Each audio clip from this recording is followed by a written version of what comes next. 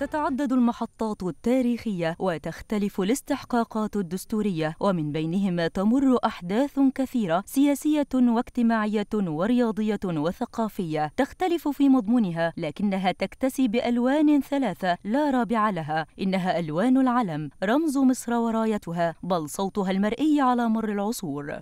لكل دولة علم ويبقى علم مصر أقدمها. علم يسرد حكاية وطن على مدى التاريخ منذ عهد الفراعنة وحتى يومنا هذا فهو الراية التي يتسلح بها المواطن في حروبه وانتصاراته في تحدياته وفرحه فهو رمز الكرامة والهوية والوطنية والمجد. وفيما يدلي الناخبون بأصواتهم في الانتخابات الرئاسية لاختيار رئيس مصر الذي سيقود البلاد خلال السنوات الست القادمة. يبقى علم مصر ورايتها قاسما مشتركا لجموع المصريين خلال هذا الاستحقاق الانتخابي الأكبر والأهم وزينة شوارع وميادين أرض الكنانة. فبينما تجد يدا تصوت في بطاقة الاقتراع تجد اليد الأخرى تحمل العلم لتجسد وحدة الوطن رغم تعدديته الفكرية والسياسية. كما كان العالم حاضرا بقوة في مختلف العواصم والمدن الكبرى حول العالم إبان مرحلة الاقتراع بالخارج. مراحل كثيرة من التطوير والتغيير مرت على علم مصر. اختلفت في شكلها حتى وصل لشكله الحالي. مزيج من اللون الأحمر والأبيض والأسود يسرد قصص الفداء والسلام والظلم في عصور الاستعمار. ويتوسطها نسر ذهبي